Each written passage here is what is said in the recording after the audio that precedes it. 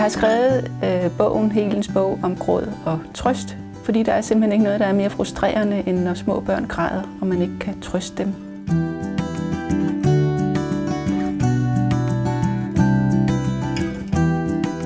Det er, når børn opfører sig aller værst, at de faktisk har allermest brug for os. Det er faktisk, når børnene opfører sig på en måde, hvor vi næsten ikke kan holde ud, at de er sådan. Hvor de nogle gange næsten provokerer os, at de har allermest brug for, at vi sætter os ned, lige lytter til dem, spørger ind til, hov, hvad sker der lige her, og hvad er det lige, du bliver så ked af nu? Og at vi møder dem og giver dem øh, tiden og roen til at finde ud af, hvad det her det handler om, og trøster dem.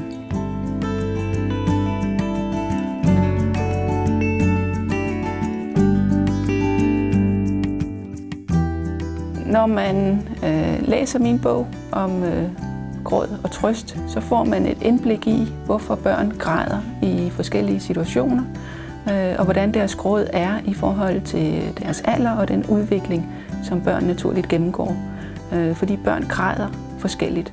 Og alt efter hvordan situationen er, og hvad det er, der udløser barnets gråd, så skal man også reagere forskelligt. Og der får man via min bog nogle øh, redskaber til at reagere på barnets gråd, så barnet får den trøst og den nærhed og den opmærksomhed, som barnet har behov for, uanset om barnet er et lille spædbarn, om det er et eller to år, eller det er tre eller fire år gammelt.